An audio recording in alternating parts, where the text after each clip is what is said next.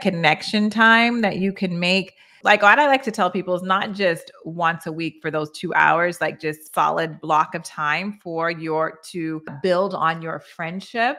As you would say, I feel like the connection that's made builds on the friendship that you have as your foundation, but also having little connection times throughout the day it could be a text of how much I appreciate you. It could be a phone call. You could just say it out of your mouth in mm-hmm. person to your spouse.